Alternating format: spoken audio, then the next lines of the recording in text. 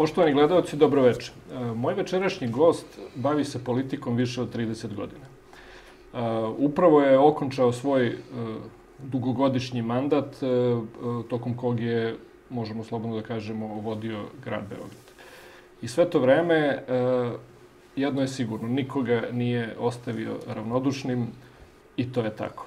Moj večerašnji gost, gospodin Goran Vesić, sada samo da kažem, samo član predsedništva Srpske narodne stranke. Srpske napredne stranke. Srpske napredne stranke. Mada je ona narodna. Pa narodna je. narodna je, tako da niste mnogo pogrešili. Da, I da. napredna i narodna. I na, da, Srpske napredne stranke, tako je. Tako je. Za sada... Da, ste me najavili. 33 godine se tačno bavim politikom. Godine. Sam, imao sam jednu pauzu od 10 godina od 2003. do 2013. Nije to baš bilo bez politike, ali nije bilo nekog aktivnog bavljenja politikom, tako da sam, eto, 23 je to, kako da kažem, aktivno.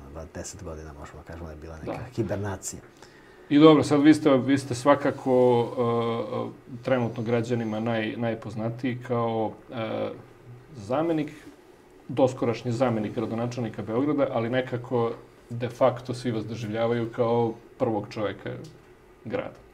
To je ovaj, nešto što uvek je svima, da kažem, malo bilo čudno. Ja znam mnogo ljudi koji, kada ih neko pita ko je gradonačelnik Beograda, oni su izgovarali vas moram da kažem, mnogo, mnogo, mnogo češće nego ime čoveka koji je realno bio gradonačelnik. Pa ja sam bio, ja sam bio više prisutan u medijima zato što sam ja stalo na terenu i trudio sam se, trudio sam se da rešavam probleme ljudi. Možda zato su ljudi više doživljali mene kao nekoga ko je tu prisutni i to je stvar na kraju kraja ličnog osjećaja svakog čoveka. Ja inače ne mislim da funkcija vam daje snagu. Mislim da, da, da svako ko radi bilo kakav posao sebi samo određuje koliko će, koliko će biti poznati, koliko će, kakvu će snagu imati i da to vam, da vam funkcija ne garantuje da ćete biti značajni uh, samo zato što obavljate neki, nekakav posao. To je meni jednom Đinđić naučio. Ja sam bio šef njegovog kabineta, to je mislim bila 97. Sad nemojte me držati za reč, ali mislim da da kad je Slobodan Milošević odlučio da postane predsednik Jugoslavije, tadašnje Savezne Republike Jugoslavije, umesto predsednika Srbije. Ja sećam da sam tada došao kod njega, oštampo sam tu vest, tada nije bilo interneta, odnosno tek je počinjao internet, bila tek neki da. kafea. I onda sam tu donao, to sam skinuo sa neke agencije, donao sam mu, dok je to čitao, ja sam mu rekao, ali znate, meni jedna stvar, ne znam šta će njemu ovo, on tamo nema nikakvih ovlašćenja. Ima mnogo više ovlašćenja na mestu predsednika Srbije. A mnogo pogleda rekao, e, slušaj, da te pitam nešto. Šta ti misliš, da je sloba portir u sivu? A koja bi najvažnija funkcija bila? Pa portir čovječe. Prema tome, sami sebi dajete, dajete snagu, sami sebi dajete značaj i sami možete svaku funkciju da učinite snažno ili da, ili da bude beznačajna. Znači, to zavisi samo od vas. Na kraju pogledajte predsednika Vučića. Bez obzira koju funkciju obavljao, on je u svakom trenutku bio najznačajnija politička listnost. Da li je to bila funkcija prvog podpredsjednika vlade ili premijera ili, ili predsednik države, jednostavno to nosite sa vama. I po tome se razlikuju veliki političari, odnosno oni koji zaista su političari koji se bave svojim poslom, od onih koji oteljavaju svoj posao. I dobro, ali sad u tom prethodnom periodu šta god je e, dobro urađeno u Beogradu, e, vas su, da kažem, hvalili. Kogod je imao neku e, zamerku, on, oni umeju da vas opsuje. Evo, pre neki dan su vas ne, nešto su vas psovali na, na ovaj, e, Twitteru, iako već u tom trenutku vi niste imali nikakvu funkciju uh, u gradu. A, a, koliko ste zadovoljni, da kažem, svojim, svojim mandatom, ja ću kažem, na, na čelu grada, onim, onim što ste uradili, na šta ste najviše ponosni, a šta je ono što E, eventualno za čim žalite da ili, ili niste uspeli iz nekog razloga ili niste stigli da uradite i da kažem ostavljeno je u, u amanet e, Narodne gradske vlasti? Pa učestvovati, učestvovanje u vođenju lokalne samouprave je specifičan posao. Upravo ste to sami dobro rekli, zato što a, lokalna samouprava podrazumeva rešavanje hiljadu problema svakog dana. I to su najčešće problemi koji ne dotiču najveći broj ljudi, već samo određen broj ljudi, ali vi jednostavno morate da ih rešavate, jer u suprotnom, a, jednostavno zato ste postavljeni. Recimo, ja kada sam rešavao problem Vidovdanske ulice, a, one sušene zgrade, znate, to je, mi smo pričali o svega, o, mislim, kažem svega, to su njihovi životi, za njih je to najvažnije, osam porodica. I kada pogledate sa, sa, čitavu populaciju Beograda, to je zaista mali broj ljudi ali ne možete da ne rešavate takav problem, jer jednostavno ti životi tih osam porodica zavise od toga. Hoću da kažem, imate mnogo, mnogo različitih problema iz različitih oblasti i uh, voditi grad uh, ili učestvovati u vođenju grada, znači da budete spremni da rešate probleme iz kulture, iz sporta, iz komunalnih usluga, iz javnog prevoza i da u svakom trenutku budete spremni da se, da se nađete tamo gde se nalazi problem. Tako da je to zaista veoma naporno i potpuno je prirodno da onda ljudi vas eh, hvale za ono što je dobro, a Boga mi kude vas i za ono što, realno sa vama nema veze, ali jednostavno ljudi moraju nekoga da kude, odnosno moraju, ne moraju da nađu krivca u nekome. Tako da ja nikada nisam imao problem sa tim. Trudio sam se da, da, da grad eh, Beograd bude bolji i on je danas zaista bolje mesto nego 2013. godine za život. Neću da pričam samo o nekim osnovnim parametrima, kao što je prosječna zarada koja je bila početkom ove godine 803 evra, koja je bila 478 evra 2013. godine. Neću da pričam samo o nezaposlenosti koja je bila negde preko 8% ove godine, a 2013. godine je bila skoro 16%. Neću da pričam samo o broju radnih mesta. Mi smo na dan kada sam ja završio svoj mandat u Skupštini grada imali 748.000 radnih mesta u Beogradu. Znači 748.000 ljudi je primalo plate, znači na račun, plaćali im se zdravstveno i socijalno, nasuprot 532.000 koliko, koliko ih je radilo izvinjam se, znači suprot 563.000 koliko ih je radilo 2013. godine. Znači imate, imate znači razlika je u skoro 220.000 radnih mesta. To je jedan grad. Vjerojatno bi bio drugi ili treći grad u Srbiji. Da ne pričamo o građevinskim dozvolama. Vi na svakom koraku vidite kranove. Da vidite da, da se svake godine izdaje poslednjih 4-5 godina, 4 godine preko milijon i po kvadrata građanske dozvole. Recimo 2013. godine izdate su građanske dozvole za 322.000 kvadrata. A da, da, ne, da pričamo o Beogradu na vodi, ne pričamo o spuštanju Beograda na reke, da ne pričamo o tome da danas u Beogradu ide preko 80.000 deca u vrtići da je 2013. godine išlo 57, nešto malo više od 57.000 dece. To, to vam govori o tome koliko se grad promenio. I strateški se zaista promenio. Novi trgovi, nove ulice, nove fasade, preko 500 novih fasada, spuštanje grada na reke. Znate, sećate se vi koliko su nas kritikovali iz opozicije zato što ukidamo prugu oko Kalemegdana i što se ukida železnička stanica. Ja sam inače juče... Dan danas ljudi nešto plaču za to. Pa da, a ja sam, ja sam juče te tamo smo se rastajali, te tamo smo se sastajali. Kao, kad, kao kada smo menjali kocku u Skadarli, pa onda jedan pisac koji je inače u opozicijnoj stranci napisao da je to kocka po kojoj šeto Đura Jakšić, pritom ne znajući da je ta kocka posljednja 1967. godine po Bogunovićevom projektu kad je Branko Pešić to radio. Pre toga te kocke nije bilo, ali to vam je tako tako se dešava, znači kad, kad želite da pravite od nečega priču, onda vam, onda vam dolaze te priče. Ali hoću da kažem, ja sam juče napisao, pisao u politici jedan tekst, ja pišem neče svakog petka kolumnu, a, u kome sam pričao, pisao ljudima o ranžirnoj stanici na ušću. Znači, ljudi ne znaju, znači većina naših, su, naših sugrađana ne zna da je pre 50 godina na mestu gde se danas bilo park ušće bila ogromna ražena stanica sa desetinama koloseka i da smo imali prugu koja odvajala Zemun i Novi Beograd od reke, od Dunava. I da je to bilo samo pre pola veka. I da je tada prvi put doneta odluka da se ukloni pruga, pa je sagrađena, pa je, pa, pa je, tada je železnička stanica centralna, tadašnja sta, glavna, izgubila funkciju. Tada je doneta odluka da se gradi Prokop.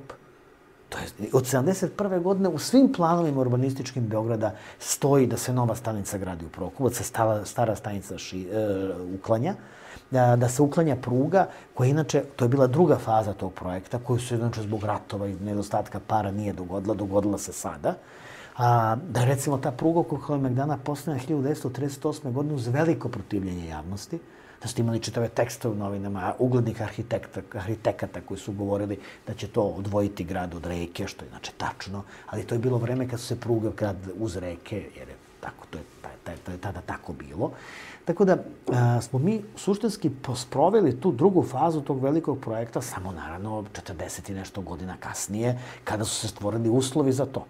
To znači kada radite neke stvari, to nije neka odluka koja sad nekome pala na pamet, već naprosto pa ja mislim postoje... Da, da svi znaju da Prokop nije postoje, projekat... Tako, postoje decenijske, tako, postoje decenijske odluke da vi samo dođete u situaciju da obezbedite pare, da ih sprovedete.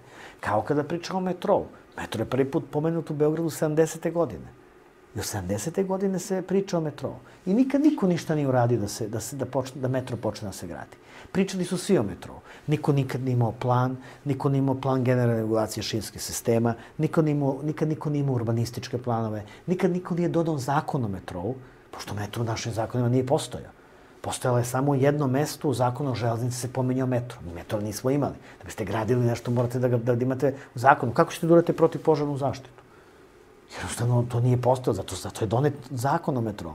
Nikad niko nije radio brojanje saobraćaja, nikad niko nije uradio projekte za izvođenje i, i nikad, naravno, niko nije našao pare. E sad smo prvi put sve to uradili i počeli da gradimo metro. Inače, mislim da to najznačajniji infrastrukturni projekat evo, u Srbiji evo, da, u 21. veku. Evo, znači, iz, iz redove opozicije i, uh, da kažem, sledbenika i simpatizera opozicije, ništa od toga uh, ne valja, jel? Znači, ona je sad, Beograd na vodi je ružan, ono je neka, uh, kako, kako kažu, obrnuta pivska flaša, zabodena u zemlju, A, metro takođe ne valja, on će tamo da nam uništi vodoizvorišta. Trg, inače, inače da znate, trg, trg inače, Republike ne valja. Zato inače, kad, smo, kad smo kod vodoizvorišta, tadašnja ranžena stanica sa Ušće je tada pre, pre, prebačena u Makiš. A 70. godine to takođe bilo vodoizvorište pa je neko pametan izračunao to, to što se danas priča nema veze. Jednostavno, hoću da vam kažem, a, to su takve stvari, e, ja, ja razumem da veliki projekti izazivaju velike kontroverse. Ni to samo kod nas. Bukvalno da kažem, ni jedan od tih projekta, evo, za Trg Republike kažu, nema zelenila, nema, nema ni jedno drugo. Ja moram sam da kažem, to... bio sam na velikim trgovima u velikim gradovima ja, i to nisu šume i parkovi. Tako ja pravim imate... razliku između trga i, i, parka. i parka. Tako, i pritom imate da. 30 stabala više nego ranije ali svi, svi veliki trgovi, svim velikim gradovima su trgovi. Trgovi su veliki prostori za masovne događaje, a parkovi su parkovi. I to je velika razlika. I, uh, ali, ali to vam je tako. Ali ja kažem vam, ja razumem da svi veliki projekti izazivaju kontraverse. Nije to samo kod nas. Imate situaciju, pa kad je Eiffelova kula pravljena, pa imate demonstracije protiv Eiffelove kule. Pa imali ste e, čovek koji je vodio te demonstracije, koji je bio naj, naj, naj, najveći protivnik Eiffelove kule, jednom kada je na, na kraju Eiffelova kula napravljena, jednom su ga novinari uh, vidjeli kako ide u restoran. I onda su ga pitali, pa dobro, ali zašto idete u restoran kad ste vi protiv ove kule? On je rekao, idem u restoran zato što to je jedino mesto u Parizu sa koga se ne vidi Eiffelova kula. je duhovito, da, to je da. tako. Pa ne znam da li, ste, ali... da se sećate, da se sećate one, one zgrade u Londonu, Shadow of Glass, koje, koje je pravljena, koje, koje je sada simbol Londona. Pa a, kraljevska, a, komisija kraljevska za urbanizam je odbila da da saglasnost za tu zgradu. Ali je tadašnji gradonačelnik Londona razumeo da je to važno za razvoj grada i dao je saglasnost. Pa, e, palata, evo, ne moramo da imamo po svetu, uzmite palatu Albanije imate tekstove u vremenu i politici tog, tog vremena gde pišu da će zgrada da, da će da potone knez Mihajlova zbog velike zgrade koje se gradi. Ljudi su prodavali stanove i bežali iz knez Mihajlove. Napravljena zgrada, tada najveća zgrada na Balkanu, mislim 13 spratova ima i to je, i to je tako. Pa imate priču kad je, kad je Beograđanka građana, i to je, iako je to bilo vreme komunizma, pa nije baš se pisalo sve, imate tekst u ne, jedni, jedni novin da piše Crna udovica. Šta će crna zgrada u Belom gradu? Tako da, veliki projekti uvek izazivaju velike kontraverze. Ja to mogu da razumem. Ljudi se teško navikavaju na novo i tako dalje. Ono što ne mogu da razumem to da se vodi hajka protiv projekata kao da nama ti projekti nisu potrebni. Imate situaciju u kojoj, nam, u kojoj imate ljudi koji kažu nama metro ne treba. Što neče nije tačno. Metro je najvažniji projekat beogradski, a boga mi republički, zato što će metro potpuno promeniti način saobraćaja u Beogradu. Mi kada budemo izgradili metro i kada budemo izgradili Beogradski čvor, koji se nije gradio, iako sada ima velike potrebe da se gradi zbog, zbog svih ovih novih kapaciteta pruge, mi ćemo tada imati situaciju da će dominantni podsistem javnog prevoza u Beogradu postati šinski podsistem. To znači, on je visoko kapacitetan, on, je, on se ne ukršta sa drugim sistemima i on je, e, kako da kažem, tu nema gužvi da ima, vi onda možda planirate kada ćete doći iz jednog dela grada u drugi deo grada. Ja sam danas kasnije na ovaj vaš intervju, a da imamo metro ne bi kasnije. Jer tačno znate kad ide metro, kuda ide i tu kašnjenja nema pošto će inače druga linija ići. A, tako, da, a, tako da, hoću da vam kažem, to je naprosto tako, ja to razumem. Ne razumem kada se, i razumem naravno da, struč, da javnost treba u tome da učestvuje. I ne kažem da je svako rešenje najbolje, da je moguće uvek nešto i promeniti ako zaista neko ima argumente. Ali ne razumem da se napadaju projekti samo zato što smo ih mi uradili. I to je ono što, što ja stalno govorim. Kad se gradi metro, na, oni, koji, oni koji su mogli da grade metro, nije bilo zabranjeno da se gradi metro i pre Vučića. Nije ni udarao po turu ako gradite metro. A svi su obećavali. A što to nije pa, tad? Zato što nisu A mogli što, što to da urade. Beograd nije sad, spušten na reke? Ja vam to kažem. Nije, nije bilo zabranjeno da Beograd spuste na reke. Ja se sećam još u vreme Slobodana Miloševića govorilo se o nekom, čini mi se da se zvalo Europolis ili Ja kažem, tako nešto. nije bilo, se nije o bilo zabranjeno da Beograd spusti na reke. Nije niko. Nije bilo zabranjeno da se gradi kanalizacija u Borči. Svi su obećali, a mi je sad gradimo. Nije bilo zabranjeno da se grade fabrike za preradu otpadnih voda.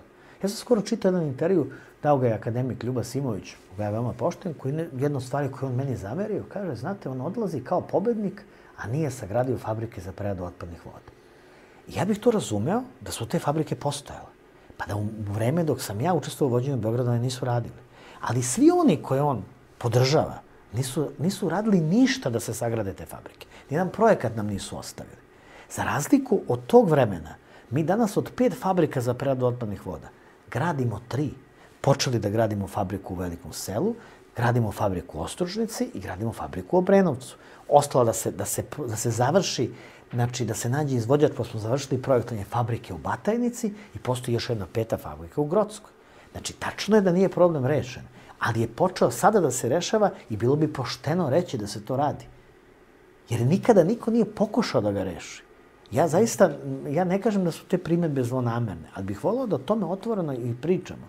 Grad Beograd ima velike probleme. A zašto, to, zašto, zašto se e, vama i vašoj stranci toliko gledaju greške? Zašto, Zato ti, što su- zašto ti isti ljudi koji, da kažem, sebe predstavljaju kao, kao, kao elitu Zato što, ono što, Beograda, zato što ono što Vučić uradi je merilo njihove nesposobnosti. Ja vam to kažem. To je njihov veliki problem. Zato što kada Vučić gradi metro, to je dokaz da oni nisu bili sposobni da grade metro.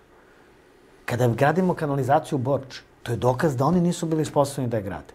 Da li je mogla ranije? Možda jeste, ja mislim da nije. Zato što znam kroz šta smo sve prošli da bismo došli dotle. Ali možemo da pričamo o tome da li je mogla da se gradi godinu dana ranije ili kasnije. I tu vrstu odgovornosti sam spreman da preuzmem. Ali mi je gradimo. I ja sam počeo da je gradim. Za razliku od onih koji, Dobro, koji, koji, nisu, toga. koji nisu, koji Da. nisu nikad ništa uradili, koji čak ni ašov nisu zakopali. I to je stvarno neverovatno. Ja, to, ja to nisam mogu da verujem. Imate Đilasovu stranku koja kad smo mi krenuli da gradimo, pa je to, e, pričamo o kanalizaciju Da. u Borči. Tamo se gradi fabrika za preradu otpadnih voda. Pa jedan tender propao, zato što je umeđu vremenu su skočile cene. Pa Evropska investicija banka ima procedure, pa se to čeka. I oni ljudi napišu saopštenje, znate, kasni se sa kanalizacijom. Tačno je. Ne zbog nas, već zbog Evropske investicijne banke. Ali majstori, pa vi niste ni pokušali da gradite. Imali ste priliku. To je, to, to je tako e, nemoralno da vi napadate nekog ko nešto radi, a pritom ste sami imali priliku da gradite to. Pa niste gradili to. I obećavali ste tu kanalizaciju. Ali evo, rekli ste da i sami sebi možete nešto da, da zamerite. Šta je, šta je to za čim možda žalite što niste stigli ili iz nekog drugog razloga niste uspeli da, da uradite dok ste, dok ste vodili grad? Pa meni je žao što nismo uspeli ranije da, za, sad je počeo se radi taj projekat semaforizacije, e, pri, pri, e, stvaranja tog adaptivnog sistema saobraćaja u Beogradu. To mi radimo sa jednom velikom nemačkom kompanijom i moglo je to možda i ranije da se uradi, jer to će bitno smanjiti gužve. Da prevedem na srpski, to znači da će to biti sinhronizacija zelenih talasa, koji će se onda snimati, snimaće se gustina saobraćaja i menjaće se tokom samog saobraćaja u zavisnosti od toga kakvu gustinu saobraćaja imate. A nećete imati unapred programirane zelene talase koji ne, koji ne zavise od gužve. Da. Vi možete i koji ne prate realno stanje na terenu. Tako da će to bitno ubrzati saobraćaj. To će recimo dati prednost tramvajima. Žao mi je, i to moram da kažem, što tender za trolejbuse nije uspeo. Nadam se da će, da će oni koji su sada u Beogradu raspisati novi tender, imaju sve spremno da raspišu tender, a, jer je mislim da Beograd zaslužio, mi smo hteli da zamenimo tih 80 trolejbusa, a žao mi je što, što se e, javila se jedna firma, ali dala ponudu veću od e, ponuđene, pa nije mogla da bude prihvaćena. A, I mislim da... Neko pitate meni trolejbus najgore prevozno Ja mislim da ne. Mislim, ja se o tome raspravljam često sa mojim nekim kad, drug, kad drugarima. padne trola, A, a da, ali Ovaj. zato, ali zato što pričamo o trolejbusu kakve mi imamo. Ja, ja da vam kažem nešto. Prvo, svi gradovi na svetu koji imaju trolejbuse ne izbacuju trolejbuse. Inače, da znate za priču da je Beograd bio skoro izgubio trolejbuse, da je Branko Pešić uh, ekstremno mrzao trolejbuse. I 70. godina ostala samo jedna linija trolejbusa. I, ali nije skinuta oprema, odnosno žice Da. nikad nisu skinute, kontaktna mreža. I onda se desilo i Beograd je bio na ivici da potpuno izbaci to. Imate tekstove o politici i borbi krajem 60. godina da doneta odluka, izbacio se trolejbus i tako dalje. A onda je početkom 80. godina je Jugoslavija imala veliko potraživanje prema Sovjetskom savezu, koje Sovjetski savez nije mogao da plati. A onda je Sovjetski savez nudio robu. I davao je migove ondašnje koje smo mi imali i tako dalje. I onda su počeli, ponudili nam trolejbus, pošto oni su pravili trolejbuse. A onda su ovi iz Saveznog izvršnog veća prihvatili trolejbuse i naterali Beograd da uzme trolejbuse, jer već ima kontaktnu mrežu, tako su se trolejbusi vratili u Beograd. Ali e, sada niko nije odustao od trolejbusa, nemate ni jedan grad, čak pošto postoji kod nas predrasuda da su trolejbusi samo sredstvo, a, prevozno sredstvo istočne Evrope, što nije tačno, imate u Hotini trolejbuse, imate u mnogim, imate u Salzburgu trolejbuse, a, mnogi, mnogi, u, mnogi u, ponovo, a, grade se ponovo mreže, Tako da nije to prevaziđeno prevozno sredstvo, prvo to je ekološko sredstvo, što je važno, prevozno sredstvo. I drugo, mi smo u tom tenderu koji smo tražili, tražili da ti trolejbusi imaju 12 km autonomije. Oni su istovremeno i elektroautobusi i trolejbusi, što onda bitno menja stvar. Ili ne morate svuda da gradite kontaktnu mrežu, možete da spajate različite linije, jer ako imate 12 km autonomije, da vam ne treba Aha, mreža. Aha, može da spusti vi, tako, može da spusti, nastaje kad da podigne, garaže, kad, kad da. podigne pantograf, on se puni, da, tako da to, to bitno menja stvar. Da. Tako da je meni žao zbog toga i žao mi je, to moram da kažem, što nisam uspio da se izborim sa grafitima. Jer ja zaista mislim da su grafiti veliko ruglo Beograda.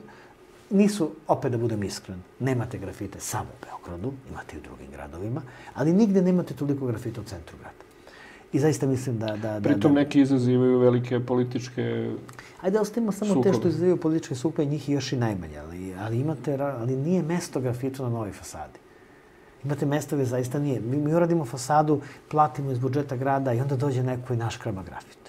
To je jednostavno, ja, ja taj mozak Dobro, postoje neki grafiti murali koji su sami po sebi umetnička... Postoje da, murali. Da, da. Mi smo radili na tome da se odrede mesta za murale, gde bi grad čak i pomogao da se murali oslikuju. To jeste, kako da kažem, nešto što može da ulepša grad. Na kraju to je istočni Berlin. Berlin da. u istočnom delu Berlina jako dobro radio. Ali, s druge strane, to nije, ja pričam o onim grafitima koji uništavaju grad. I to je nešto što se, nadam da će se rešiti. Dobro. Dobro, to je što se tiče grada, da kažem, to neko poglavlje vašeg političkog života je sad iza nas. E, vi ste podali e, ostavku na mesto odbornika, dakle to samim tim, to bi trebalo da znači da nećete raditi više u gradu. Ovaj, a, šta a, e, dalje? Šta, šta ćemo sad, što kaže ovaj konstrakta?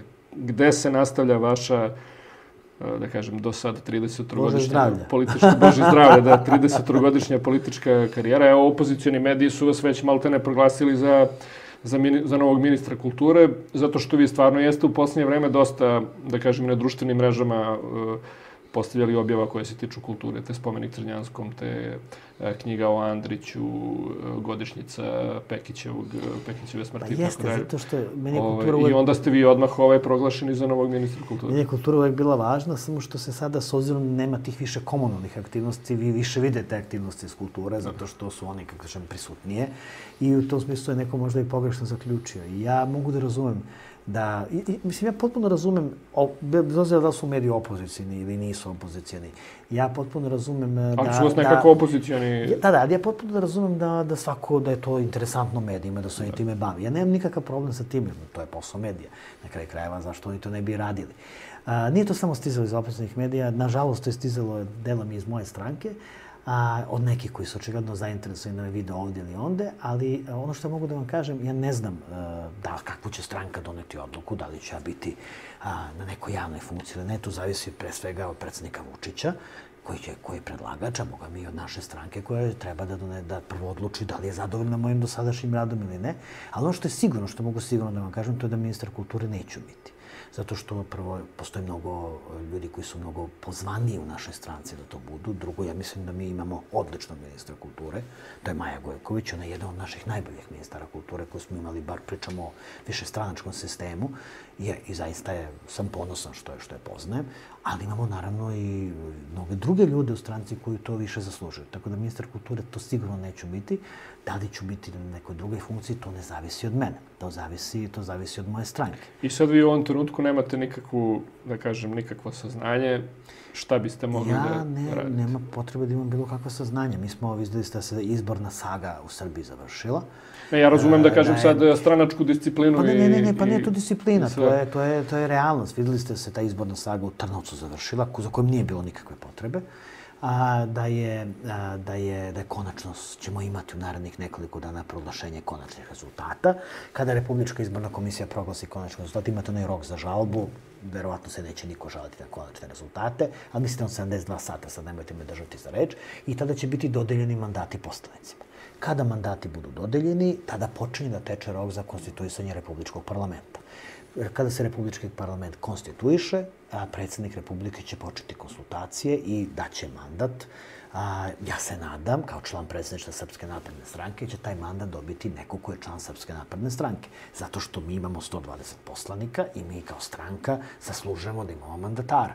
Kome će predsednik dati mandat, to je njegova odluka, da će onome koga bude imao najviše uverenja da može da vodi u teškim vremenima vladu, to je na kraju krajeva njegovo pravo da donese takvu odluku, a onda ćemo naravno razgovarati o mogućim koalicijama, tako ćemo znati ko će sve s nama biti u koaliciji, mada mi imamo dovoljno poslanika da zajedno sa našim sa, tradicionalnim saveznikom i partnerom, Savezom Bojođanskih Mađara, koji je inače išao na posebnu listu samo zato da bi dobili više kao manjinska lista, formiramo i sami vladu iskustvo koje govori, iskustvo o ponašanju naše stranke, uvek vam je govorilo o tome da smo mi državotvorna stranka, da smo se trudili da imamo što više stranaka koji su okupljeni oko sprovođenja država, državotvorne politike, tako da ćemo u tom smislu vratno razgovarati da li ćemo imati još neke partnere ili ne, što je u ovom trenutku ne mogu da vam kažem.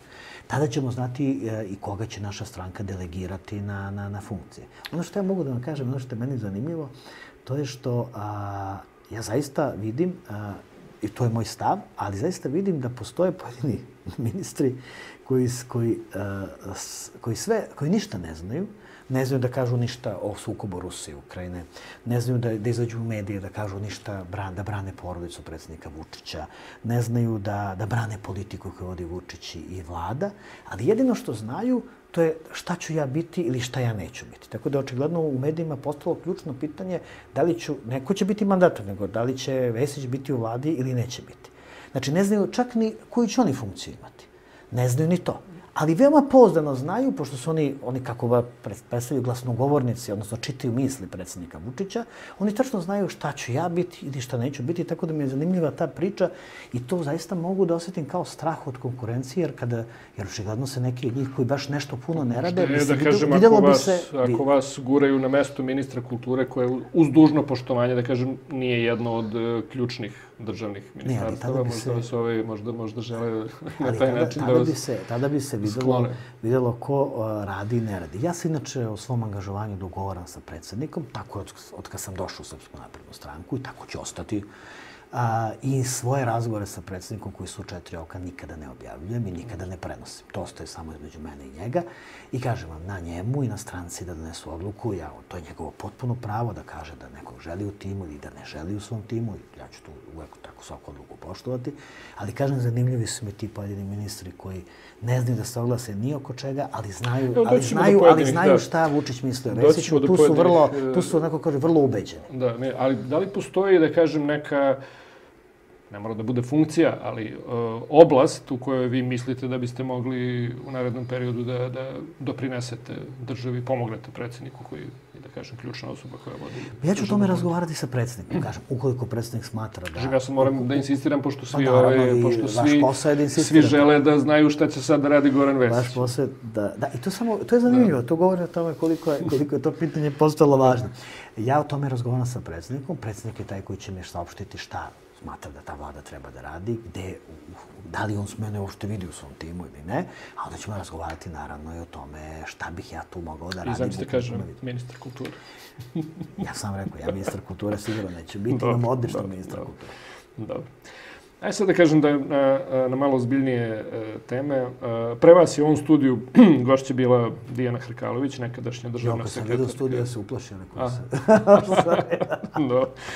Ove, nije strašno, da. Ove, ona je tu, da kažem, iznela neke, neke ovaj, e, stvari koje je Srbija prvi put čula. To je neka njena verzija događaja. Dosta se o tome već, to, ja mislim, dve nedelje se dosta o tome ovaj, priča, piše i tako dalje. E, ključna stvar u tome je, ona je iznala niz zaista e, velikih optužbi na račun svog nekadašnjeg šefa, tadašnjeg ministra unutrašnjih poslova Nebojša Stefanovića. On je njoj na to odgovorio u nekom monologu obraćanju i tu je svima, da kažem, upadljiva jedna stvar bila da on ni jednom jedinom rečiju nije spomenuo slučaj prisluškivanja predsednika Vučića i članova njegove porodice. O svemu je imao mišljenje i stav, samo o tome nije rekao ni jednu jedinu reč. Kako vama izgleda cela ta, da kažem, to, to su, to je dvoje najviše rangiranih e, ljudi u policiji su bili njih dvoje u, da kažem, nekom prethodnom e, periodu. Izneli su teške optužbe na račun e, jednog drugog i ali da kažem meni je moram da kažem, i svima najupadljivije to što Nebojša Stefanović ni jednu jedinu reč nije rekao o najtežoj optužbi koju je od svoje najbliže saradnice nekadašnje čuo na svoj reč. Pa upravo ste rekli ključnu stvar, afera prisluškivanja. Pošto je prisluškivanje, neovlašćeno prisluškivanje krivično delo, a neovlašćeno prislušivanje predsednika Republike je državni udar. Odnosno, pokušaj državnog udara. I po meni, evo to sam vam kažem i kao član predstavništva stranke i kao pravnik, to je nešto što to delo može jedino tako da se tretira. Ako vi prisluškujete neovlašćeno predsednika države, a pogotovo ako to prisluškujete, ako prisluškujete sa strane, onda vi ugrožavate njegovu bezbednost. Ako to činite iz državnih organa, vi pokušavate da uzedete državni udar. Ja ne znam kako bi se to drugačije moglo kvalifikovati nego tako. A to znači da svi koji su... imamo tužilaštvo za organizovani kriminal koji se, čini se uopšte ne reaguje. Jedina njihova reakcija je bila uh, to što je Dijana Hrkalović rekla. Ona je to rekla u jednoj uh, medijskoj televizijskoj emisiji, to nije validan dokaz i tako dalje, pričemu niko nije ni rekao da to treba da bude dokaz, to, da kažem, e, e, postoje ozbiljne indicije kada osoba koja je bila na tom mestu izjavi i tako nešto. Međutim, njihova poruka je da oni se uopšte neće time baviti. I samim tim to izgleda kao da neće dobiti nekakav pravosudni rasprat. Pa ja kao političar imam pravo da se mešam u rad tužilaštva. Vi znate da je tužilaštvo nezavisno. Smo na kraju menjali Sad ustav. Sad nemate ni jednu menjali, funkciju. Pa ne, ali sam političar. Da smo menjali ustav da bi tužilaštvo bilo nezavisno. I zaista oni imaju po zakonu i po ustavu pravo da samostalno donose odluke. Ja ću vam sada kao pravnik reći, mislim da, da, da tužilaštvo treba, ako ništa drugo, da sasluša sve one akterove priče i da na kraju krajeva na osnovu toga donese odluku da li treba da pokrene postupke ili ne. Meni je neverovatno da imate priznanje dvoje ljudi koji ste sami rekli da su vodili policiju, koji da, da se des, da se prisluškivanje dogodilo i da s druge strane Sam nemate, predsednik je rekao da se... nemate, i predsednik koji je rekao da ima dokaze, da su Visoki dokaze, policijski zvaničnici aktualni su to tako govorili. Tako je, imate izjavu ministra policije, odnosno unutrašnjih poslova, tako je, i da jednostavno zbog na to nema reakcije, jer po meni je to više nego dovoljno da se taj postupak pokrene. To vam kažem kao pravnik.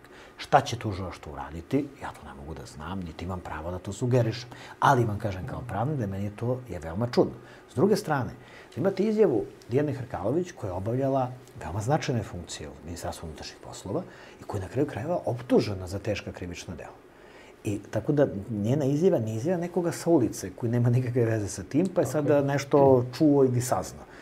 Takva izjava bi morala da bude proverena naravno provereno od strane tužilašta, to vam kažem kao pravnik, jer ta izjava od osobe koja je mogla da ima, koja ne da je mogla, koja može da ima saznanje, očigledno ih ima o nečemu što se dešavalo tada, a tiče se, kažem, pokušaja državnog udara. Tako da, zaista, ja očekujem da tužilaštvo jednostavno sve ove izjave uzme u obzir i da jednostavno proveri šta je od toga istina. Jer javnost Srbije zaslužuje da zna istinu. I mi kao država moramo da izađemo, da istaramo do kraja ovu aferu i svi koji su učestvuju u toj aferi, bez ozira kako se zovu, koju poziciju sada zauzimaju, koju su poziciju zauzimali, bez ozira a, ko su, treba da odgovaraju u skladu sa zakonom. I mislim da to time pokazujemo da smo pravna država.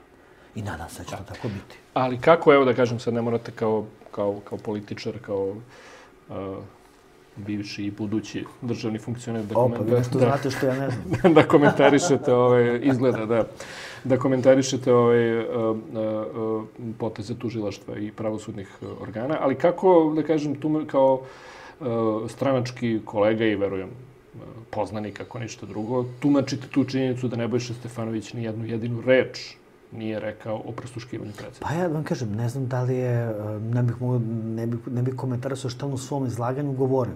Ali, ja, ali ja mislim, ali ja, slažem se, ali ja mislim da on o tome treba da govori i tužilaštvo. I mislim da tužilaštvo treba da ga pita za to. I ver, da treba da da odgovor svoj na to pitanje. Ja, ako to vam kažem kao pravnik. Znači, da li on u javnosti izabrao da priča o tome, ne, tu na kraju krajeva vaša odluka. Svako od nas odlučuje šta će da kaže u javnosti. Ali ako ste, ako ste već optuženi za tako teško, za, za, za da kažemo, teško, jeste teško krivično delo, onda tužilaštvo to koji treba to je da najteže krivično delo. Tako, to je onda je tužilaštvo to koji treba da mu postavi pitanje. Ne ulazeći u to šta će na kraju tužilaštvo utvrditi, i ja to zaista niti znam, niti mogu da znam, ali zaista mislim da o tome treba da priča sa tužilaštvom. On sa tužilaštvom to treba da pita. Dokle ćemo mi moći da ne sedimo na njihovoj stolici i koje su, to da kažem svi, negde malo je nejasno, koje mi posljedice možemo da trpimo ako na kraju odbijemo da, da sednemo na tu Mi ćemo stolicu? uvek sedeti na Da li, da li mi možemo da dobijemo sankcije od tog zapada ponovo kao Samo što da vam kažem, mi ćemo uvek sedeti na srpskoj stolici. I nikada nećemo sedeti na tuđoj stolici. Ali opet vam kažem, vodimo računa o interesu Srbije. Ovo nije naš rat, u njemu ne treba da učestvujemo, nismo ga izazvali, nećemo ga mi odlučiti i mi nismo deo ovog rata. I nećemo ni biti. Ali s druge strane, mi ćemo voditi uvek računa o interesima Srbije. A to je da nastavimo da gradimo puteve, gradi se trenutno 584 km puteva. Da li ćemo to Da moći recimo, da radimo? Moći ćemo, Ako Vodit ćemo, vodit ćemo računa o interesima Srbije i niko vama ne može da kaže šta će se desiti za 10 dana. Ili za mesec. jer Kao što Zapad niko ne može, stav, ako nisi s nama, protiv nas. kao što niko ne može da, da vam kaže kako će izgledati zima ove godine. Da koliko će biti teška. To ne mogu da vam kažu ni u Nemačkoj, ni u Rusiji, ni u Ukrajini, ni, ni, ni u Ma, Francuskoj. Niko ne može da kaže šta će se dešavati ove zime. Nažalost je tako. E tako, e tako niko ne zna šta će se dešavati, pod kakvim ćemo sve pritisima biti u narodnom periodu.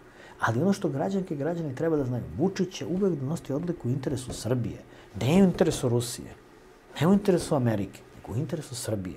Jer mi treba da preživimo i opstanemo i da sačuvamo naš narod.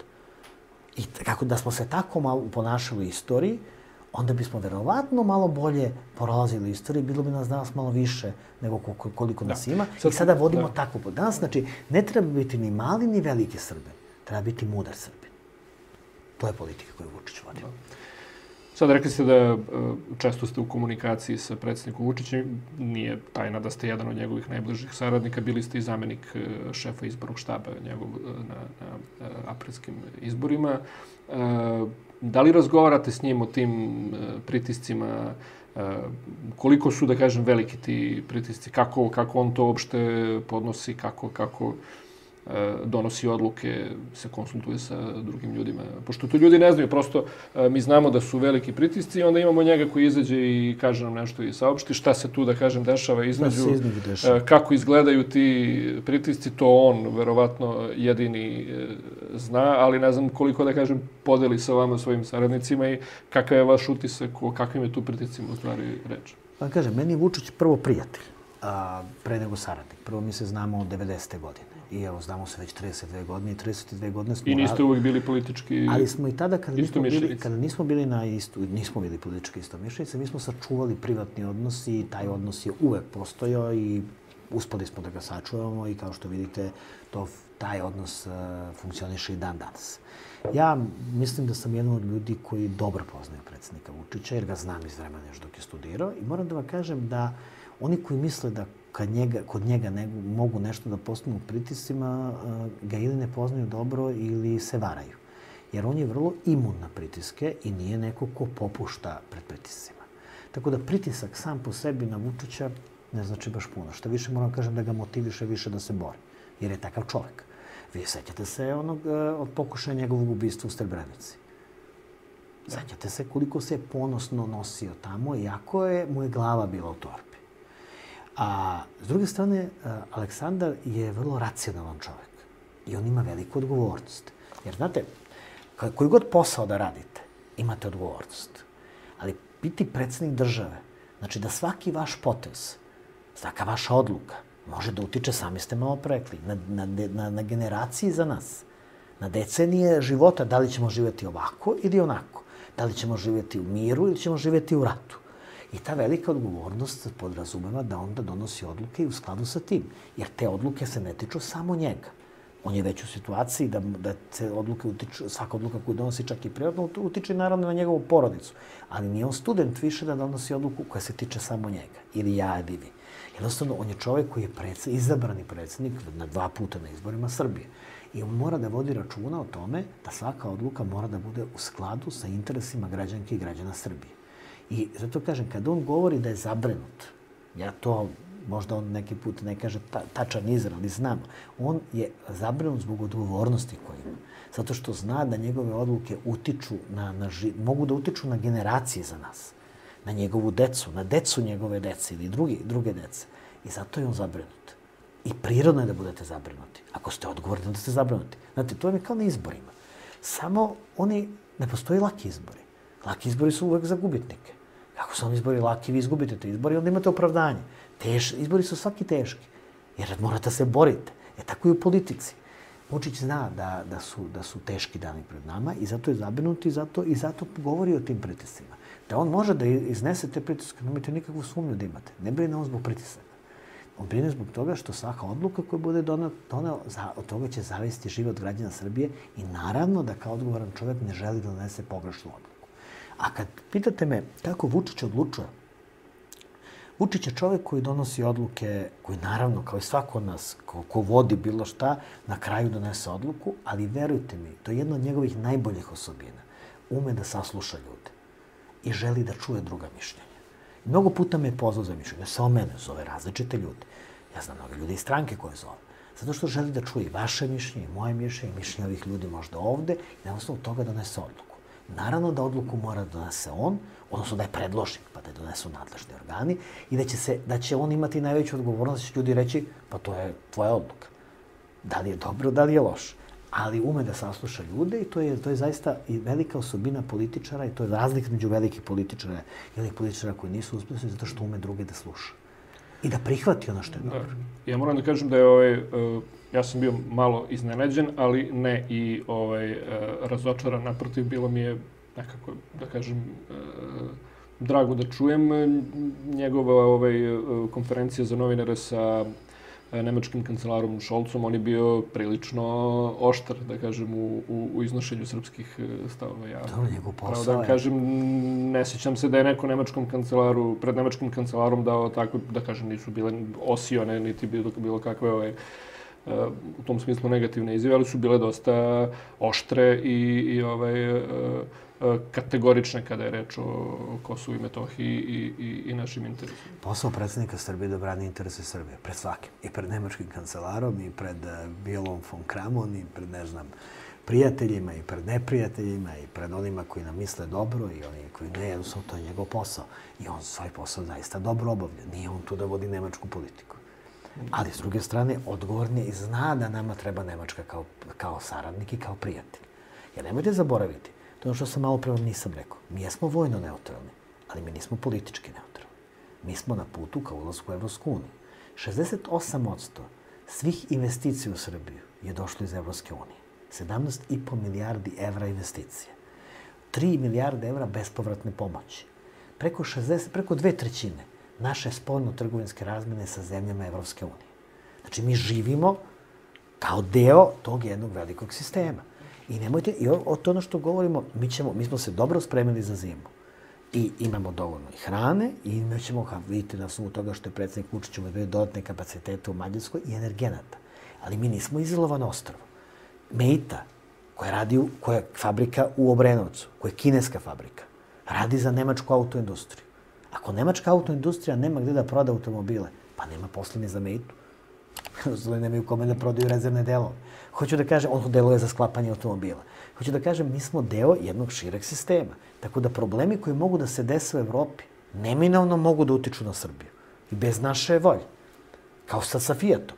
Vi ne možete da na to da li neko ima sada na globalnom tržištu prodaju, neme prodaju. Svi su se uplašili, kriza je, manje se kupuju automobili. To je prirodno. Zašto bi neko kupio auto kad ne zna da će sutra da bude rata ili neće? Jednostavno, to, to, je, to je potpuno normalno. I nas će čekati veoma teška iskušenja. E pa to ste da svijetim, pošto ste vi vodeći grad, da kažem, na jednom ono, uh, uh, nešto nižem nivou u odnosu na celu državu, se suočavali sa istim problemima svake zime. zime. Ova zima je specifična zbog rata u Ukrajini i što se tiče energenata i što se tiče hrane i dosta ljudi, ovaj, e, da kažem, strahuje da li će e, se naredne zime smrzavati, da li će imati šta da jedu i tako da je prosto da li će biti energenata i hrane, ne više stvarni, da li ćeš imati da ih e, da li ćeš imati pare da ih kupiš, nego da li ćeš, da li ćeš ih uopšte imati. Predsednik je sam rekao i to ste mogli, zato i kupujemo skladište, do skladištemo gaz pre nego što počne velika kriza. Jer taj gas koji dolazi iz Rusije ne dolazi direktno u Srbiju. On prolazi kroz neke zemlje Evropske unije, tako? Tako da vi ne možete da utičete na to da li će biti gas ili neće. Jer on treba da prođe kroz Bugarsku. Pa delom i Rumuniju, tako? Ali Bugarsku pre svega. Prema tome, ne možete, znači, postoje stvari na koje mi ne možemo da utičemo. Ali ono što možemo da utičemo, to smo i uradili. Prvo smo proširili kapacitet Banatskog dvora. I verovatno su se tad smejali neki kad smo to radili. Sad se pokazalo, boga mi, da je to tako i treba. Pa drugo, videli ste da je predsednik Vučić dogovorio sa a, Orbanom da se, da zakupimo kapacitet u Mađarskoj. To znači da sad kupujemo gas i skladištimo, skladištimo kako bismo imali rezerve za zimu. Da bismo što manje zavisili od mogućih poremeća snabdevanja koji mogu da se desi. Tako da s te strane vidite sami da se, da se, da, da se, da se predsednik za to priprema. Videli ste da je prošla jeseni priča o zalihama pasulja i brašna i, i graška. Pa su mu se smejali. A sad videli ste kada je došao sad premijer, premijer da Crne tu... Gore, boga mi, to hra, ta hrana koju smo mi to skupljali ko baja patak ovako, boga mi izgleda treba sad svima. Izgleda da smo bili, da smo bili, da smo bili pametniji od svih. Hoću da kažem, jednostavno, a, a Predsednik vodi odgovornu politiku i sigurno će nama biti bolje kad pričamo o osnovnim, osnovnim namirnicama i kad pričamo o e, energentima nego u drugim zemljama. Ali mi nismo na ostrovo. Drugo, videli ste da, da će biti povećanje penzije do 1. januara od 19,2%, povećanje minimalnog ličnog dohodka od 14%. To su sve stvari koje, to su sve stvari koje pokazuju da vodimo odgovornu politiku. Da će biti teško, hoće. Jer vi Može, mi ćemo obezbediti i grašak, i pasulj, i ulje, i brašno, ali vi ne možete da utičete na cenu milka čokolade. Da li će ona u Švajcarskoj biti skuplja ili neće biti skuplja. Jer mi smo deo jedinstvenog, jedinstvenog tržišta.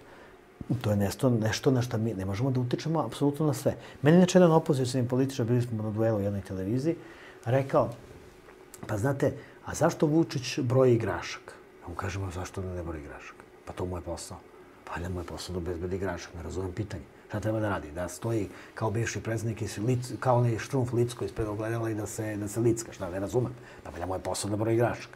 I njemu, i ministrima, i svima. Tako da, tako da, ja mislim da mi vodimo odgovornu politiku. Opet vam kažem, mi ne možemo da predvidimo sve posledice. Jer ne zavisi sve samo od nas. Tako da, je to, tako vam je to u životu. Dobro, to je, to je zima, a pre zime će biti jesen i mi sad imamo ovaj dosta ozbiljne najave da bi na jesen moglo da bude velikih problema na, na Kosovu i Metohiji, na severu Kosova. Preti se oduzimanjem imovine automobila Srbima. Predsjednik je se obratio naciji i rekao da to sve liči na pokušaj neke nove oluje i suštinski proterivanja Srba sa, sa severa Kosova poslao, poslao je takođe dosta e, direktnu poruku da Srbija to neće dozvoliti. Opet se, da kažem, to sve izgleda kao neko zveckanje oružjem, da li nama, da kažem, prete e, na jesen, to, znači, 30. septembra od 1. oktobra, da li nam prete nekakvi oružani sukobi na, na jugu Srbije, na severu Kosova i Metohije? Pa vi, ste, vi možete da vidite da privremene vlasti u Prištini pokušavaju da iskoriste ovu situaciju da dobiju ono što nisu mogli da dobiju na miran način. I vidite da oni misle da očigledno da ovu krizu u svetu treba da iskoriste spolno neki novi blesak i ovu i protaraju Srbe. Jer politika svih albanskih vlasti, privremenih vlasti na Kosovo i Metohiji od 2000. godine, 1999. godine vam je ista Bez obzira da li bio Rugova, da li bio Tači, da li bio Haradinaj, da li bio Hoti, da li je sad Kurti. Oni se razlikuju međusobno i svađaju se, ali istu politiku. Proterati Srbe. Znači, otežati im život, da, da nemaju mogućnost da rade, da nema perspektive za njihovu decu i da jednostavno taj način oteraju Srbe. Jer oni svi žele jedno, etnički čisto Kosovo i Metohiju. I to je jasno kao dan. I tu nema nikakve razlike među njima.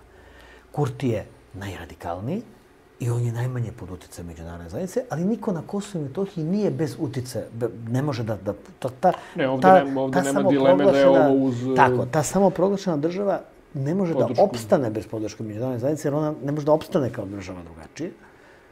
Znači, ta samoproglašena država I ona je, jer ona za nas nije država, ali kažem samo proglačena, jer oni, oni, oni zaista, čak i Kurtije, pod utjecajem određenih krugova, duše više evropskih nego američkih, što je velika razlika, odnosno njegove prethodnike, koji misle da ovu krizu treba iskoristiti da svoj neuspeli projekat stvaranja države koja se samo proglasila, dokteraju do kraja. Jer kao što vidite, on nije uspeo. Vi znate kad je proglašena ta samoproglašena nezavisnost. Da li je Kosovo članica Ujedinjenih nacija? Nije. Da li u Interpolu? Nije. Da li u UNESCO? Nije.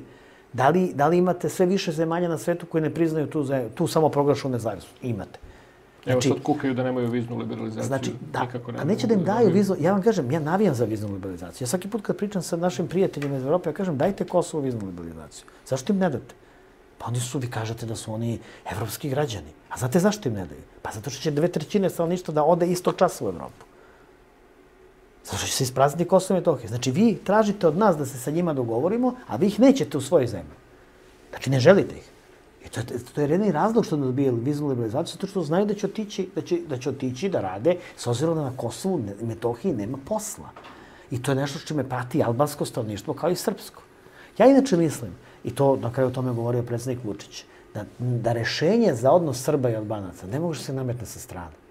Da treba da ostave Srbi i Albanci da se sami dogovorimo. Pa kako da se sa Pa moramo da se dogovorimo sa Albancima zato što smo mi susedi. Zato što mi e, živimo na istoj teritoriji. Zato što bez našeg istorijskog dogovora nema mira na Balkanu. Ako su mogli Francuzi i Nemci da se dogovore, mogu i Srbi i Albanci. Mi nemamo, mi nemamo problem da se dogovorimo sa Albancima. Videli ste da radimo najnormalnije... Očigledno oni imaju problem da uopšte pregovaraju sa nama. U otvorenom Balkanu radimo najnormalnije sa Albanijom. I vrlo smo harmonični. Znači, mi nemamo problem da razgovaramo sa Albancima. Ovdje imamo problem sa samoproglašen, sa privremenim institucijama u Prištini koji ne žele dogovor. Jer potpuno bilo prirodno da oni da sednu sa nama i da se dogovore i da se mi konačno napravimo konačni dogovor, jer nametnuta rešenja nisu trajne. To imate primjer Bosne i Hercegovine. Ne može da zaživi kao država kad je potpisan Dayton. Sećate se, sredinom 90. godina prošlog veka. Evo, prođe dve, dve, dve i po decenije, prođe četvrtina veka, ta, ta zemlja još uvek ne, ne, ne, ne može da funkcioniš. Zato što, zato što rešenje moramo da nađemo sami. I ono na čemu Vučić insistira, Da li ste se vidjeli da je Vučić odbio jedan razgovor? Nije. A da li mu je prijatno da sedi sa Tačijem, sa Haradinajem? Sa... Pa naravno da mu nije prijatno. Ne bi ja bilo prijatno. Ali on je, opet vam kažemo, to kad pričamo o neodgovornosti, on je izabrao, birao da bude predsjednik Republike. Kandidovao se. A kad su ga građani izabrali, on onda mora da sedi sa svakim. Zato što, ako je to interes u građana Srbije. I on to radi. To čovjek radi, ide, razgovara, nudi pregovore, znači nudi da se razgovara. S druge strane imate stalno odbijanje. Čak odbijaju da sprovedu ono što je dogovoreno. To je briselski sporazum. Što je minimum minimuma koje treba da dobije Srpska opština na i Metohiji. To neće da sprovedu. I onda neko mi kaže da je nemoguće natrati samo proglašene institucije, te institucije privremene u Prištini da spriznaju briselski sporazum. Naravno da nije nego neko ne želi da se to desi. Ali evo, da kažem, do tog 30. septembra ostalo manje od tri meseca.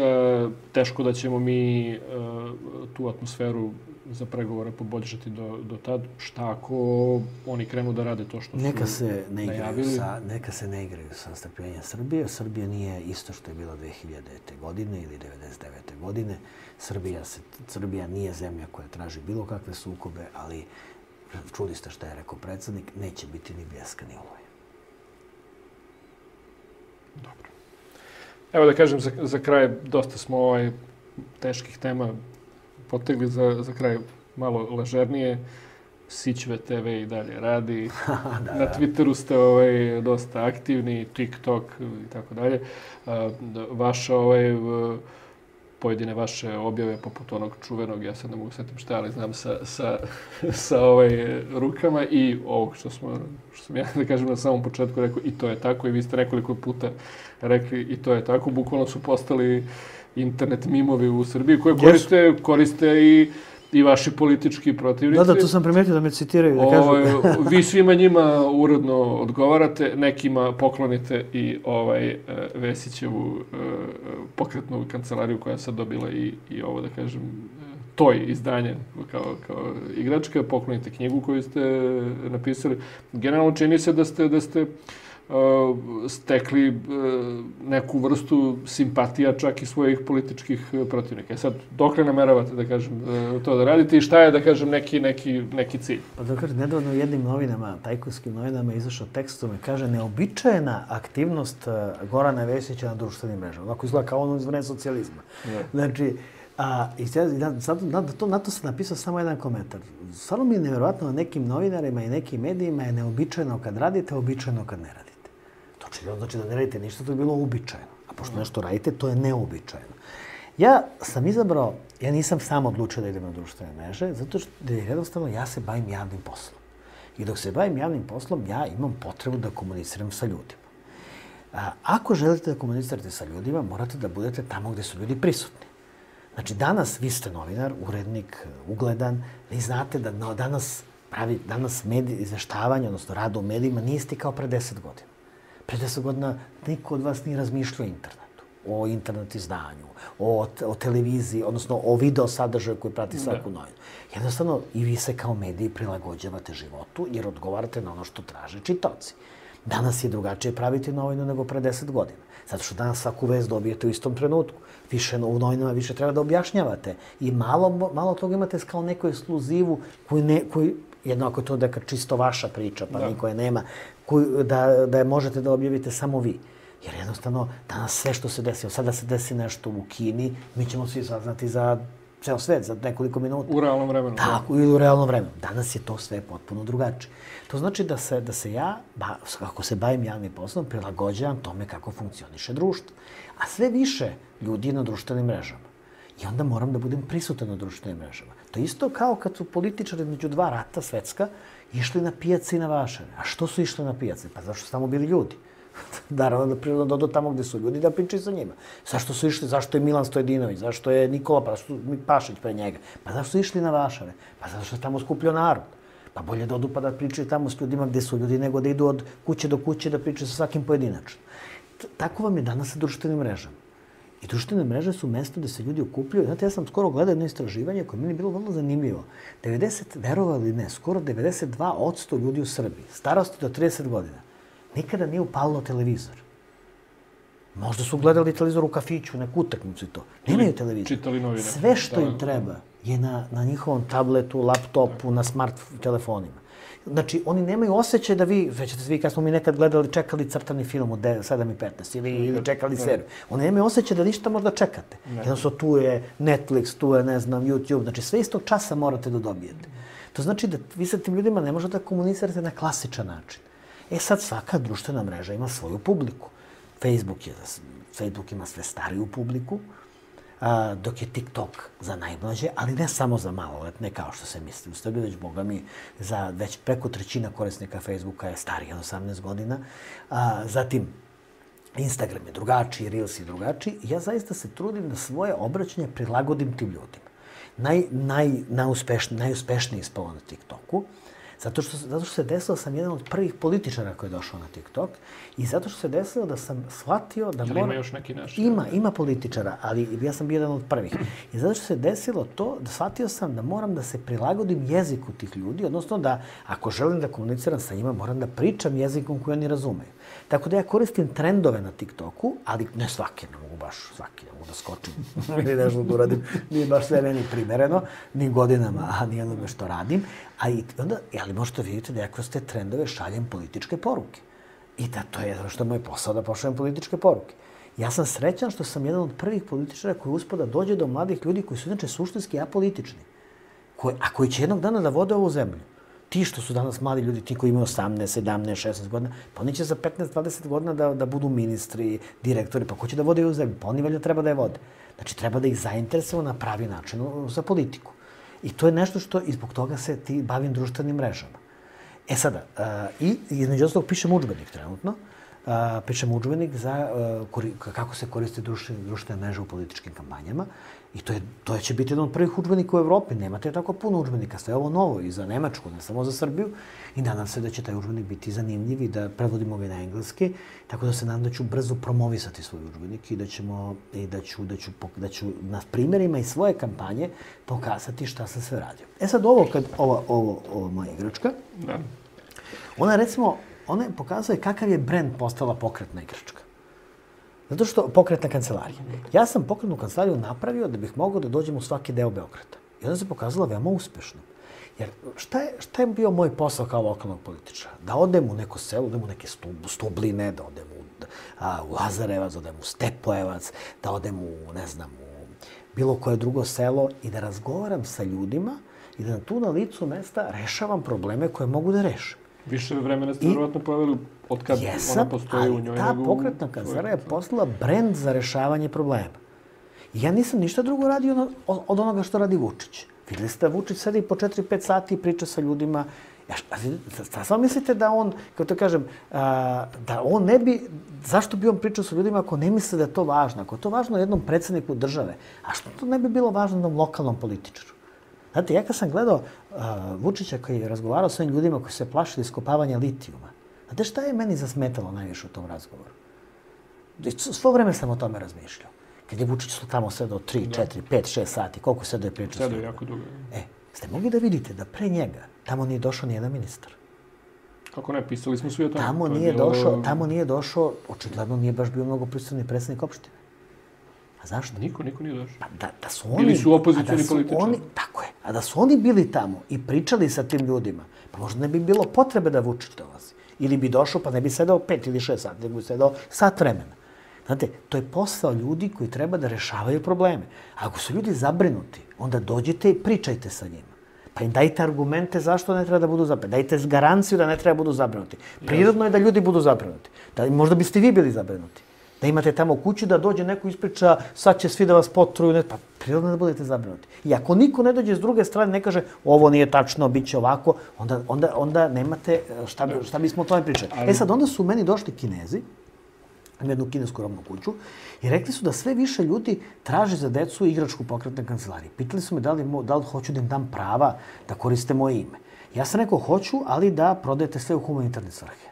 E, oni su to naravno shvatili da je to dobra reklama za njihovu robnu kuću i tako da se ova igračka prodaje u, a, ne znam sad da smijem da kažem ime robne kuće, Slobodno, Panda. u humanitarne svrhe. Jeste, prodaje se u humanitarne svrhe, 360 dinara je i niko ne zarađuje na njoj ni dinar. Sve ide u humanitarne svrhe za lečenje dece i omladine. To je naša fondacija Gnezdo, Gradska fondacija za lečenje dece i omladine. Ja sam ustupio svoje pravo. Jel ide oni su radili, da vam kažem, oni prodaju oko 200 igračaka dnevno. Stvarno. Kažu kinezi da je prodavanije lutke Lepe Brene, da sad ne naljuti Lepe Brena. Ona je moja dobra prijateljica. A imaju lutku Lepe Brene. Imaju lutku Lepe Brene, ali da vam kažem, veoma sam srećan jer je to, ova igračka je postala brend. I to je brend za rešavanje problema. I to samo govori da sam, rad, da sam radio do, dobre stvari i da, da zaista sam, sam bio pravi. Petiću vas još na kraju još nešto za igračku. Hteo sam da vas pitam, uh, vi i na, i na društvenim mrežama, posebno na Twitteru, koji je jedna, da kažem, svađalačka e, mreža, Jest. vi i vaše stranačke kolege vrlo često znaju onako da odbruse ljudima koji ih kritikuju i tako dalje, ali vi nikad, vi go, ja, ja ne mogu da se setim da sam naišao neki vaš tweet gde, se, gde vi uđete u nekakvu svađu ili, ne znam, uvredite nekoga ili na bilo koji način vi nekako odgovarate to na, vrlo često uzmete pa retvitujete neku kritiku na vaš račun ili nešto, ili sami, ono, pa, da kažem... Reti, to sam kada je Newsnet napravio uh, da. vest da Sićve TV traži nacionalnu frekvenciju. I ja sam napisao, verujte mi, ispunjam više uslova od mnogih koji su tražili, ali ih je 15 ih tražilo. da, da. ali je nisam tražio. Izbegavate, da kažem, sukobe u toj sferi. Izbjegavam sukob, da vam kažem, ja sam do pre dve, tri godine znao takođe da budem veoma žestok u raspravi sa političkim protivnicama. I znao sam da i kažem, zato što oni često vređaju. I to je nešto što... Ne, u televizijskim emisijama e, se sukobljate, ali da kažem nisam, na, na Twitteru, ali sam, ali ne. Sam, ali, uh, vi na Twitteru imate različite, znači, to sam shvatio posmatrajući Twitter. Zašto gube oni koji vređaju? Vi, na, ja sam uh, prvo mislio da je Twitter čisto politička mreža. Prvo, Twitter uopšte nije politička mreža. Vi tu imate zaista veliki broj ljudi koji se ne bave politikom koji imaju veliki broj pratilaca godinama postoje. Imate naravno botove, one koji su politički botovi koji vas stalno napadaju.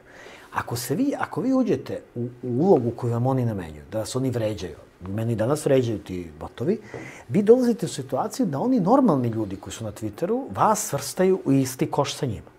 I zato ja trpim te urede, odgovorim na civilizovan način, zato što mene ti botovi koji, imaju, koji su napravljeni samo da bi vređali, ima, koji imaju deset pratilaca, pisano kažem, mene oni ne interese. Mene interese, recimo, čovek koji je na Twitteru, koji ima 10.000 pratilaca i koji se bavi proizvodnjom hrane. I koji, čiji svi tweetovi su u vezi sa hranom, znači, koji mene prati. Mene interesuje on, zato što on treba da primi moju poruku. Ako budem nepristojan, ako vređam, on će reći, pa čekaj, on je divlja kao i ovi drugi. Zašto bi ja uopšte razmišljao o njemu? Jasne. Tako da, tako da je Twitter to jedna velika zabluda. Ja sam imao tu zabludu pre nego što sam ušao na Twitter. U februaru sam ušao na Twitter. A, ja sam imao istu zabludu. Verujte mi, većina nas je mislila da je Twitter čisto politička mreža. Tu ima najmanje politike. Samo što vi imate, pra, imate mogućnost da izaberete šta vas interesuje i onda je zaista koga pratite, vi stvorite iluziju da se svi bave politikom. Većina ljudi se tamo ne bavi politikom i ljudi jednostavno bave se svojim životom ili svojim interesovanjima. A mene interesuju oni. A ne interesuje me ovi koji su opredeljeni politički. Jer ne mogu da promenim mišljenje nekome koji je politički opredeljen. I ko ne želi da vidi da se gradi metro. Šta da radim? Ako meni neko kaže ne postoji autoput Miloš Veliki, pa ja ne mogu, ja, nisam ja stručnjak da rešavam njegove probleme. Jer mislim, on postoji. I sad, ako neko ne želi da vidi autoput, šta da radi? Ako neko ne kaže, ako, neko, ako ljudi vam kažu nama ne treba metro, ja ne mogu tu ništa. Ali postoji veliki broj ljudi na Twitteru koji nisu takvi, koji su ljudi koji se bave svojim životom i koji žele da čuju političku poruku i žele nešto da vas pitaju. Tako da, a, meni se dešavalo da, da, dok, sam se, dok sam imao javnu funkciju u gradu, sam odgovarao da mi se, da su mi čak, ne znam, jednom je neko iz Borča pitao, stvarno, tamo je bila jedna, a, kad je bila a, klizište jedno, odnalo je deo puta. Ja ne znam kako to nije popravljeno. I čovjek mi je poslao sliku, sutradan smo mi došli popravljeno. I on mi je napisao, ja sam opozicijni aktivista, radio sam protiv vas, ali nikada mi niko nije odgovorio na pitanje i vama svaka čast. Ja mislim da je to dobar potez. I zašto bih ja gledao da li je neko iz opozicije, iz vlasti, kad ima nekakav realan problem? Nisam ja na kraju krajeva, ja sam biran bio tu dok sam radio taj posao da radim za sve građanke i građane. Mi metro pravimo za sve, i za one koji iz opozicije, i koji glasuju za opoziciju, i koji glasuju za vlast. Ne, najbolje ćemo da gledamo ko može da uđe u metro.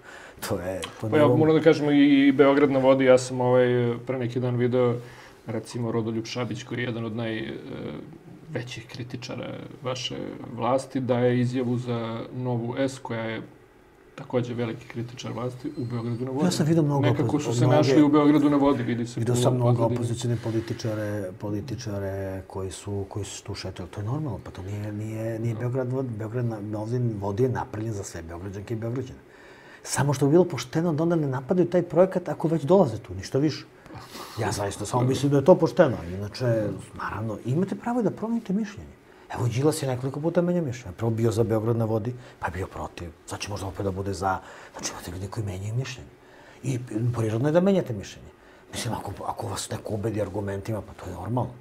Tako da, tako da se nadam da će se to... Evo još jedno pitanje. Šta će biti sa originalnom, eh, ne igračkom, nego pravom uh, pokretnom kancelarijom. Ona je, bila, ona je bila iznajmljena i sada, pošto vi znate, postoji firma iz Rume koja inače se bavi iznajmljivanjem uh, toga i ona je bila iznajmljena uh, do, do, da, kao iznajmljena data, data Skupštine grada na korišćenje. A sada, tokom leta, one imaju svoje, kako da kažem, porodice koje tu uzimaju. Inače, taj, taj biz, taj način turizma je sve popularniji. Ja to nisam inače razumeo, pošto ja sam još u glavi svoje bile one, one kamp Znači ona je sad parkirana? Da je parkirana, sad koristi, ko zna gde, možda u Grčkoj, možda aha, u Turskoj, dobro, možda u Španiji, nemam pojma gde, gde može da bude. U svakom, u svakom slučaju, tada mi je predno dve godine došao jedan Austrijanac koji mi je rekao da on traži jedan prazan plac za uh, ovu, kao što je, kamp, kamp uh, naselja. I ja počnem da razmišljam neko čoveče koji je lud još do sada leto ovim kućicama, mislim, to je prevaziđeno, ja se sećam toga.